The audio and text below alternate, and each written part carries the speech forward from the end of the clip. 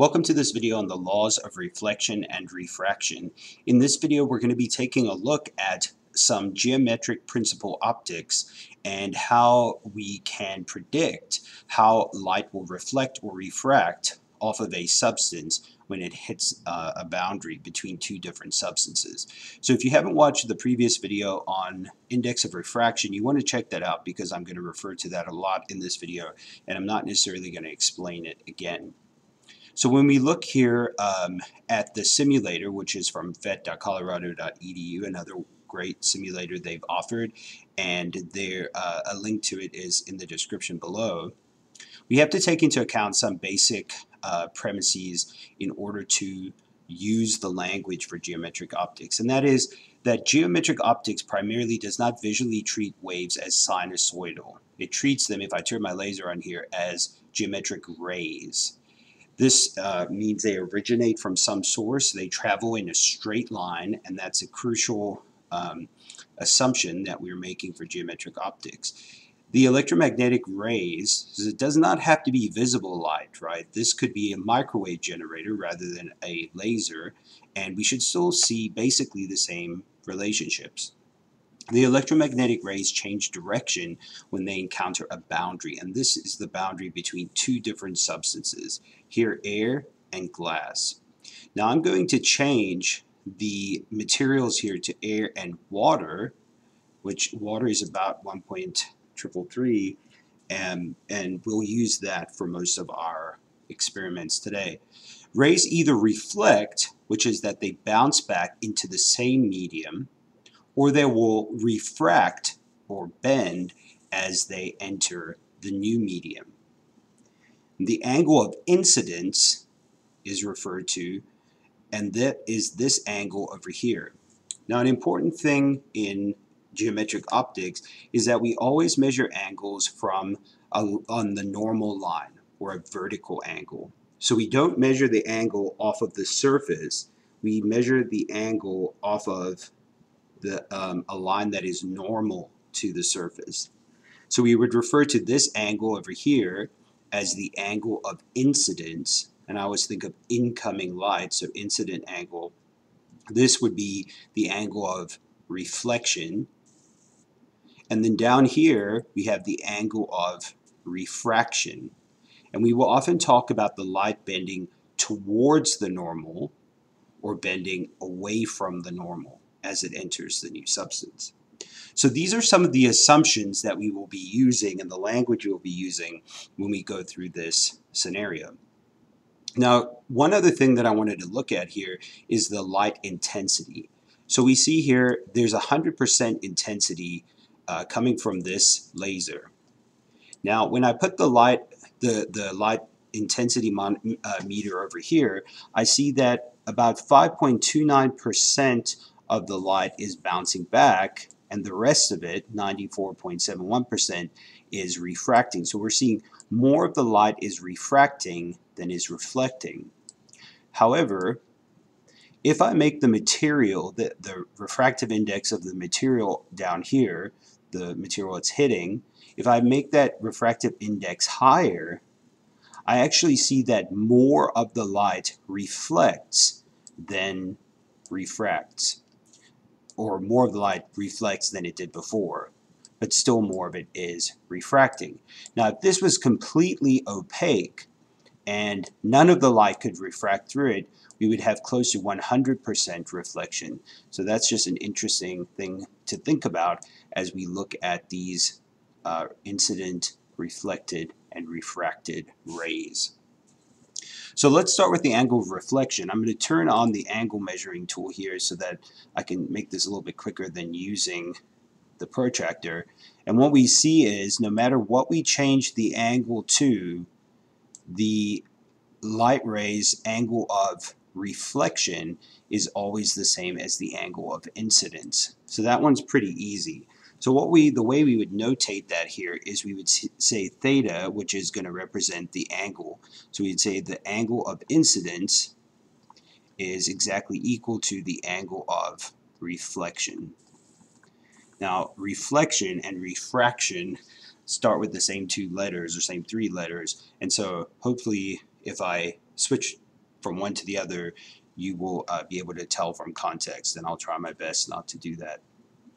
Okay, no matter what we change the indexes of refraction to, we see that the angle of reflection is going to be the same no matter what. So I'm going to go back here to uh, water again. So we'll put it at 1.333. And what we're going to do is now take a look at the relationship between the angle of incidence, which here is 57.5 degrees, and the angle of refraction. Now, if I were to collect several different combinations, and I'm not going to do all of that right now just to save some time on this video, but if I were to write down the ordered pairs here of the angle of incidence and refraction, and then graph those values, I would get the following graph. The line would start to increase and they would start to level out and I would start to get a repeat of that same material because I can only ever fluctuate between 0 and 90 degrees. There's not going to be a way for us to create a equation from that unless it has um, a sine and a cosine involved. So what I'm actually going to do here is I'm going to make a linearized graph and I'm going to graph the sine of the angle of refraction. So here this stands for refraction and I'm going to graph that against the sine of the angle of incidence. And what I find if I do that now is I get a linear graph. So it is a straight line graph like this. Now we know obviously a linear function has this basic form. Here y is equal to the sine of the angle of refraction, x is equal to the sine of the angle of incidence, and now we need to figure out what the meaning of the slope is. So if you recall from uh, many of the videos we've looked at, we've talked about the fact that the slope is a physical constant. So whatever is constant in the function is going to have something to do with something that was physically constant in the simulator. So if I take a look at what those would be over here, I've got the only other things that I can use in terms of numbers. Let's see, well, it could possibly be the wavelength of the light. That's a number that's measurable. It could be the refractive index of this incident material. It could be the refractive index of this um, refracting material. So let's try to see if we can figure out what it is, or maybe it's a combination of all those things. So to do that, I'm going to actually take a numeric function. So I graphed this on Excel, and this function that I got here was equal to y um, equals 0.7, and I'm just going to round this 0.751, um, or 750 actually, 0.750x. Now, obviously y and x mean nothing here, so I'm going to get rid of those, and I'll put in sine theta refraction, and this one sine theta incident. So now what I'm going to do is try to figure out what actually is this number 0.75. So at first glance, it's none of these things. Okay, so I, I might have something here I didn't have anything to do with the wavelength, but that doesn't necessarily mean it's not included here. But if I actually start to look at these, well, it can't be the product of these two numbers because that would be 1.33, but the quotient of 1 divided by 1.333 is 0.750 and some change. So it actually comes out to be the index, the slope here, is equal to the index of refraction of the initial substance, so I'm going to call that N1, over the index of refraction of the second substance, which is very interesting. And so what we find then is that this equation actually comes out to be sine theta r, so the angle, the sine of the angle of refraction is equal to index of refraction of the incident material over the index of refraction of the refractive material times the sine of the angle of incidence.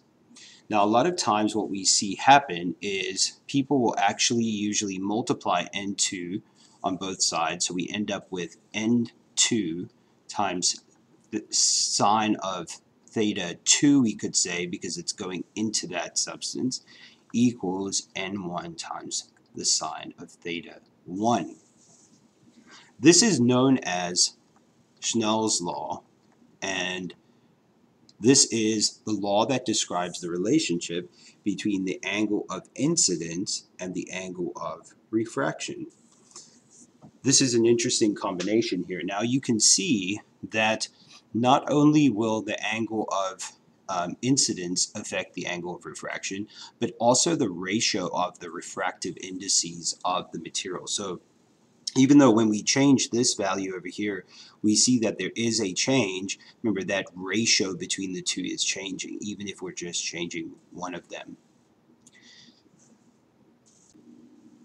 What's also very interesting here is that if I shift the color of the light, so this is changing the wavelength of the electromagnetic ray, I see that the angle of reflection has no response, but the angle of refraction I see is slightly different. It's starting to change a little bit. But at the same time, the refractive index is changing. So that implies that the refractive index of each color here, or of each wavelength, is going to be slightly different. And that's actually very important in this grand scheme. So if we take a look at what the index indices of refraction are. So remember, n is the ratio of the speed of light in a vacuum to the speed of light in that substance. We showed this in the last video that frequency times wavelength and frequency times wavelength. The frequency of the light is not changing, but the wavelength differences will shift. So we see there that if I have a wavelength difference in the different substance, then that's going to cause the index of refraction to change. So if the wavelength of, say, this red light at 700 nanometers is quite a bit different than the wavelength at 380 nanometers for the, the violet light, what we're going to see here is that the index of refraction will be slightly different, and so we'll have we could graph all of the lines over here and show the slightly different ratios, maybe depending on the different uh, combinations, and therefore we would have a different angle as well. So in following videos, we're going to take a look at what's known as total internal reflection. And um, if you didn't notice, we were always having the light go from a less dense medium or a refractive index that was lower into one that was higher. But what if we switched it and we made the light go from water now into air? We'll take a look at that in the next video.